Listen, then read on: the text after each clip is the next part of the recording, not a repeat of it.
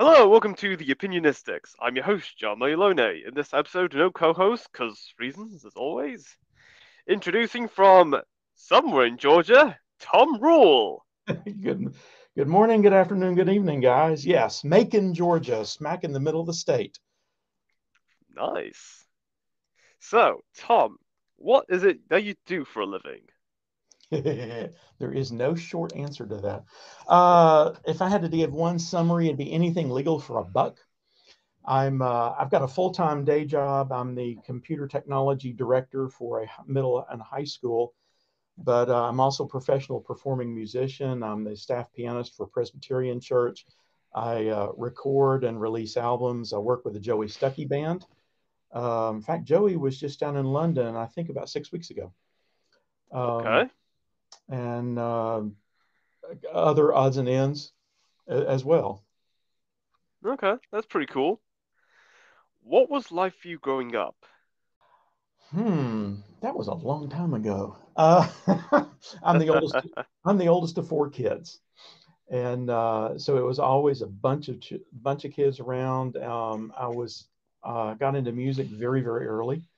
Uh, sang with a Chattanooga Boys Choir, uh, from about third grade until I got to high school, uh, and then ended up majoring in music in college. So, uh, two parents. Dad was um, it was a salesman for a long time, and then he became an auto mechanic for a, a very long time until he retired. So it was a good childhood. Um, you know, there were times when I didn't think so, but you know, when you're young, you don't know much. Mm, yes, absolutely. And out of the jobs or opportunities you have done so far, which one of them do you enjoy doing the most? Being a husband. Uh, but in terms of oh income producing jobs that that really changes by the day because i'm very much a generalist at the day job one day i might be doing um, uh, ethernet debugging or working with virtual servers or fixing iPads or teaching class piano. It just varies from day to day at the day job. Um, the church I play for is absolutely phenomenal, um, challenging and musical and worshipful, and all the things that churches are supposed to be. Um, the albums, I just have a ball creating. My last album was called The Week Begins. I put out last October and that's gotten some some a good reception. But it's not, you know, you're never going to hear it on the radio, pretty much. But uh, I just I have a ball doing what I do. Nice, very good. What kind of music do you often listen to? Do I listen to? Oh, um, Southern rock and roll sometimes, country sometimes, a lot of jazz and classical. Um, uh, mostly instrumental because for me, what I'm trying to think of, and I'm constantly thinking. So, ironically, my wife is a vocalist and she always listens to vocal music. So, we, we balance each other out that way. Okay, that's interesting. You have something called The Week Begins. Yes. That is. What is that al- exactly? It is an album uh, released uh, last October, October 2023. It is all instrumental, well, almost all instrumental. I'll get to that, the exception in a second. It's look a series of pieces that are looking at an absolutely phenomenal work week. One of those things where you know the boss hands, hands you a job and you go and I got this. This is piece of cake. Um, so it's it got tunes like percolating, which is of course a coffee reference um, Easy Sunday, um, Waffle House Breakfast, which was literally part of it was written in a Waffle House. Uh, I don't know if you would know what a Waffle House is, Peter. Do you? Um, actually, I've, I've heard of a Waffle House at some point. it is um, an interesting experience. It's one of my favorite places to go about a couple of three times a year. Um, they are all very, very small. They'll seat I guess 20 people at most. Um, a diner is it's a riff off of a diner, but they've become standardized. Um, and their specialty is waffles and breakfast. And you can get waffles and breakfast 24 hours a day. They have other things too, T-bone steaks and salads and and whatnot. But um, it's absolutely fun, interesting place to go because you get people from all walks of life, and um, the waitresses and and the guys, the cooks, are all friendly and and they'll holler, "Hey, welcome to Waffle House!" when you walk in. It's just a great place to go. So the day when I was writing that one, um, I had my standard all star breakfast. I think I consumed nine cups of coffee writing it. I had the paper all spread out on the counter. And the waitress came over because it was a little bit slow and talking with me about it. What are you doing? And it was an inter- interesting little conversation. But that's what the week begin is um, series of instrumental snapshots of a really great work week. Nice. That makes a lot of sense. Where do you see yourself 20 years from now? Oh, well, uh, depends on how long my lifespan is going to be. Still married. I'll have uh, great grandkids by then and uh, still performing and working, well, working on stuff because I want to work on it, not because I have to go to work. That would be that would be the ideal, and being able to do some travel. Ah, all right then. If you could travel back in time, what decade would you want to live in? Hmm. Well, I was born before the internet. Um, I think what I would like to do would go back to the 18, I think it's the 1880s in uh, the hills of East Tennessee, specifically Sevier County, uh, Dolly Parton territory. I have a great great grandfather who uh, lived there, was one of the only two survivors of the worst um, steamboat accident uh, in the United States history. That was over, over on the Mississippi. They had his funeral and everything, and he he had to walk from Memphis up to Sevier County. Took two or three months. They'd already had a funeral and all that. And I just I'd like to be standing in town watching him walk in when they realize he's not dead. Oh, okay. Have you heard of a drink called banana friche?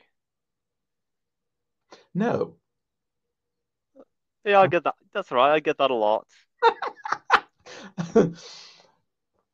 the uh, what what is it? the the pandemic gargle blaster, pangalactic gargle blaster was uh was the most outrageous drink I've ever heard of. But that, of course, is fictional from uh, Hitchhiker's Guide to the Galaxy. Oh yes, of course. If you could live anywhere in the world, where would it be? Well, right now it'd be Macon, Georgia. Um, my kids are here, my grandkids are here. But barring that, let's see. Manchester's pretty nice. I uh, spent a couple of weeks there uh, about three years ago. I would be interested in exploring that. Um, not Florida, it's too hot there. And if I had to park in one spot, maybe Chattanooga, Tennessee, Knoxville, Tennessee. Uh, grew up in Tennessee. It's north enough to have some weather, south enough to be warm enough. Interesting. what could you give a 40 minute presentation on without any preparation? Mm, a whole bunch of stuff. Given what I do between the educational technology and the uh, I, I, could talk about uh, artificial intelligence and educational technology. I could talk, talk about how to teach ed tech, uh, piano, keyboards, MIDI, uh, music technology, um, working with teenagers, uh, how to grow old without growing up. Um, there's there's probably half a dozen more things I could talk about. Nice. Very good. Thank you. Welcome. Would you sleep on the wall or sleep on the ceiling?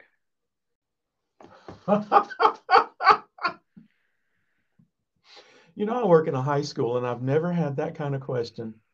Um, I think ceiling because there's less likely to be stuff for me to bump up against. Oh, that's a good point. Where has been the furthest you traveled to from where you're originally from? Manchester, England. Went there with a First Presbyterian Church group. Uh, we were working with City Church back in 2019. I unfortunately have not been able to make it back to the, subs- the subsequent trips, but uh, the City Church folks were were phenomenal. I really enjoyed getting to know them and looking forward to get back to Manchester and, and meeting seeing them again. Yeah, it is something. Did you know that I'm actually from Manchester, England? I, I did. I, when I was uh, researching, re- reading up about you. I don't. You're not in Manchester now, are you? Well, actually, yes, I am in Manchester right now. I have never seen that many cranes active at the same time, except in downtown Atlanta. It was absolutely amazing. And the Oh, history yes. place, I, I really enjoyed getting to know um, the people there and and some of the history. It was absolutely phenomenal. It was also fascinating the connection between Manchester and the American South with the Civil War, the cotton trade, and, and all that. Absolutely fun, um, fascinating. And uh, I'm hoping I can get back to Manchester.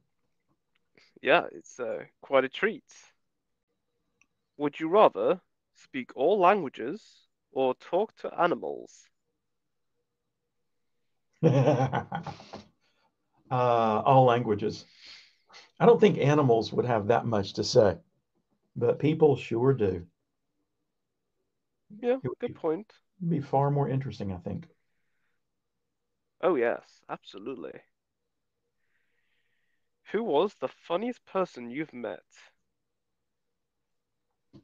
Funniest person I've met.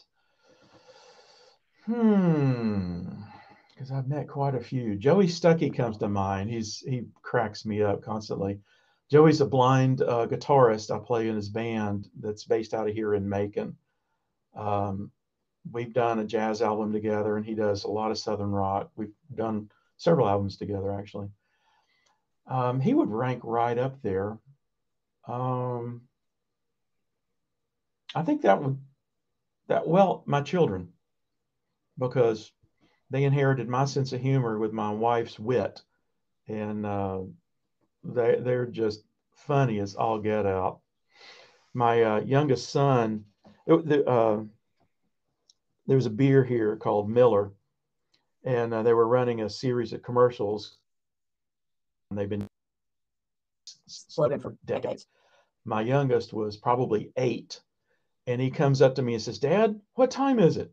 And I said, "It's 4:45," and he said, "It's Miller time." And I about fell out. It was so unexpected and so it was just funny. And he's he's done that to me several times over the years. So that would, that would he would have to be the funniest, but Joey's a close second. Okay, that's pretty cool. What is your favorite season? Hmm. There are advantages to all four. I'm not sure I have an absolute favorite. I get uh, love parts of each one and can't stand parts of each one. Summer, it's great because since I'm on an academic schedule, things are slower for me. Uh, but it is so freaking hot down here. Um, you know, fall and spring are really, really nice. Like today, uh, we're, we've got an early spring. Um, our high today was 73 and it was absolutely wonderful, but it's going to swing back down to the 50s. Uh, so spring and fall are great, except for the sinuses and the pollen. And then winter down here is usually mild, but when we get snow, it's great. Um, and in winter, my theory is you can always add more clothes in winter, but in summer, if you get too hot, you can only take so much off. So if I had to pick one, probably winter. Okay, cool, cool. What is something that most people consider to be a luxury, but you don't think you could live without? Hmm. the love of my wife. Some people would think, ah, I can be single the rest of my life, and that's that's fine. But uh, for me, we've been married so long. Um, I don't think I could I could live very long without that. Now, if you're looking for physical stuff, mm, warm socks. Yeah, indeed. What do you greatly enjoy doing but wish you could do more of? Wow, that's the kind of thing that changes day to day. Some days it's sleep. Some days it's play the piano more often, um, or record, or create, or um, eat donuts. There's just so many things I enjoy doing. Um, just depends on the day. Yeah, absolutely. What's the weather like where you are right now? Oh, at the moment, uh, our high today was 73 degrees. I think we're going down to 40 something tonight. Um, but Macon has extraordinarily, we, we call it Macon's bipolar weather. Okay, right now it is 61 degrees. High was 74, low tonight was is going to be 39. Uh, later on in the week, I sound like a weatherman. Um, highs are going to be in the mid, well, mid 50s, all the way up to 70 uh, in the space of three days. And the weather's been doing that kind of thing for a month now. And we'll probably continue doing that until about late March. Wow. Interesting yeah. weather pattern. My uh my sinuses are suffering from whiplash. Oh yeah, of course. What's the best way to start the morning? For me, it is uh, walk into the kitchen, um, brew a cup of coffee, a rather large mug, and then I walk into the living room and sit down, pull out. I have a journal. I uh, I write in. Um, I'm working through books of the Bible, and I have a uh, that I'm reading through just really, really slowly. And uh, I have some other books that I that I read. That starts my day off well, even when I know it's going to be a tough day. At least uh, gets me going that way. And then uh, a good breakfast. Ah, nice. Have you ever met anyone famous? Oh yes. Uh, used to perform there's a country artist now he's country Darius Rucker. He was the uh, lead singer for Sma- uh, Hootie and the Blowfish. Uh, I actually performed with him several dozen times when he was in as an undergrad, and I was in graduate school at University of South Carolina. That was before he was famous. Um, got to meet Danny Kaye and Mr. Rogers uh, as part of that. Uh, Alex Haley and Bill Cosby um, that was in grad school. Uh, those are probably the biggest names anyone would know that I've met, but it's not anything massive. It was just kind of uh, we we were there. I was performing, and uh, as part of the uh, group that I was grad assistant for at South Carolina, and so they came over and and were very complimentary the job we did. The um, I wish I remembered his name. Fred Rogers brought his uh, music director down with him, and the guy came over. We did uh, the the Fred Rogers uh, theme song. It's a wonderful day in the neighborhood. Uh,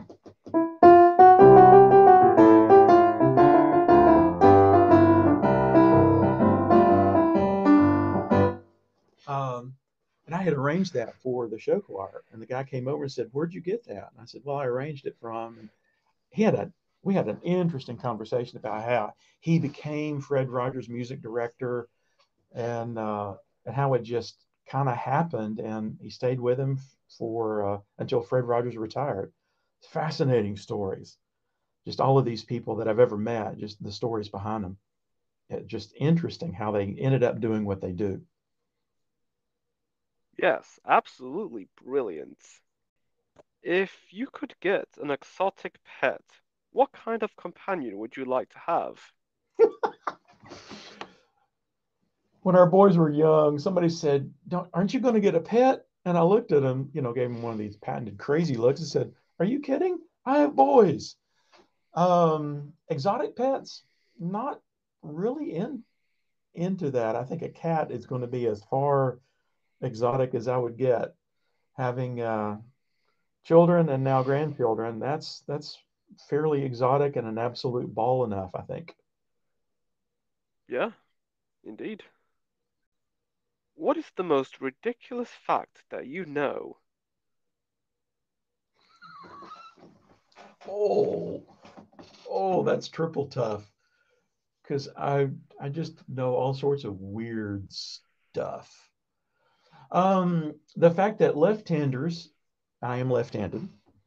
Uh, let me put that disclaimer in. Left-handers as a group are better able to integrate left and right brain thinking, better able to see three things in 3D in their head, and better able to blend the logical and creative.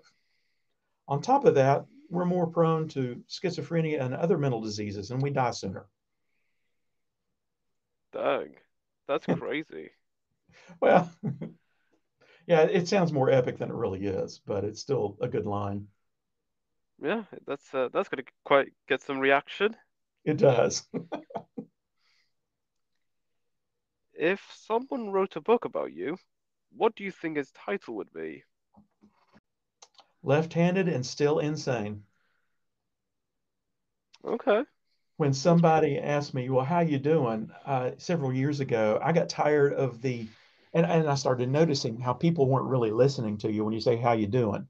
You know, hey, how you doing, whatever. Um, and so I started saying stuff that was a little off the beaten track. And uh, maybe this was the Monty Python uh, influence on me. I don't know. But somebody would say, "Oh, how you doing?" And I'll go, "Insane." Then one day I'm going to get used to it, and they'll always stop and look and go, "Yeah, I, I get, I can see that." If you could erase one past experience, what would it be? That is also a tough one um, because even the negative ones have been used develop me into who I am today. Probably the time I was goofing around in the living room and uh, just goofing around. This is uh, I was in college, but I was back home for the summer, and uh, accidentally put my hand through a, a glass sheet of glass in a, a door. So ended up at the emergency room, all upset. Here I am, a piano major, and got shards of glass in my hand and all that. So that would probably be top of that list. Uh, yeah, of course. What is your favorite quote? Mm, so many possibilities to that one. G.K. Chesterton, and I'm paraphrasing. When you come upon a fence that you want moved, you'd best find out why the fence was there to begin with. Interesting. And I like it because it has so much so much connection with things we're seeing in our, our societies today uh, how people want to redefine this and move these boundaries and all that. But we're going to find out with a lot of these things that there were good reasons they were there, and we're going to uh, we're going to pay for our sins, if you will. Yeah, absolutely. What is the best way to travel? Well, I would have said plane before 9 11 it is such a hassle.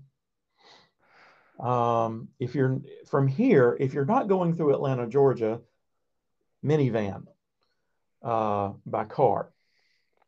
Um, but having to go through Atlanta uh, makes things just that much more uh, interesting and not in a good way. But uh, I, I, like driving my, my minivan. It's just just nice. Flying is such a hassle. You spend so much time getting there and then waiting through line and then you spend more time in the airport than you do on the plane most it with for the trips that I've done. I'm not a big flyer though, so fair enough, fair enough. How did you spend your last birthday? Last Thursday. Um, started out the day at school, uh, so that is 7:45 to about 3:45, 4 o'clock. Uh, headed up to the music store, which is across town from here, where I teach two students. Um, talked with the owner for a while, then popped back to the house and taught an online uh, piano student. His lesson had gotten rescheduled to Thursday night. And then spent a little time with my wife and uh, went to bed. It was a very busy day. Nice. What would you do if you found out you won the lottery? uh, my wife would probably have to call a hospital because I'd had a heart attack. Um, uh, first thing I would do is call a, a, good friend of mine who's a financial advisor and say, Matt, what do I do now? Um, we've actually had that. My wife and I have had that conversation. What would we do if? Um, part of it would be invested, part of it given to the church, part of it given to our kids, other family members, and we'd take, oh, probably 10% and go on a really, really nice trip. Wow. Fabulous. Do you ever travel often? More than I expected, not not often as I want to. Um, and some of it is work related. I was in Lexington, Lexington Kentucky last uh, fall for a, a school related thing. Um, I've always wanted to go on a cruise, but haven't yet. But not not tons and tons of traveling, but I do enjoy it. Yeah, indeed. Where was the most beautiful place you have been to? So many possibilities on that one. Um, I'm a Tennessee boy. You can take the boy out of the mountains, but you cannot take the mountains out of the boy. The Great Smoky Mountains. Um, hiking up Mount LeConte as a teenager, and you get to the top of the mountain, and just the the vistas you see, the the Great Smoky Mountains are just absolutely amazing. Um, that would have to be the top of the list. Second would probably be the Atlantic Ocean down on the coast of Florida. Uh, just to sit there and ponder all of that water and how much of it there is and and and the sky, the endless sky and and and all of that. It's just it's an amazing planet we live on and absolutely amazing. Yeah. What a beauty. What is something people are always surprised to learn about you? All the things I do. Uh, I am an odd duck. I, and one day I'm going to, when I get to heaven, I'm going to ask God, okay, what, what the deal?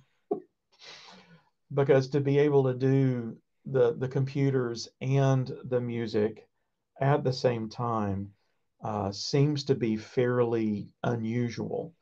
I have a close friend of mine who's not a performing musician, he's an audio engineer, but he is me at another school across town, does all the technology and the networking and the the devices and whatnot.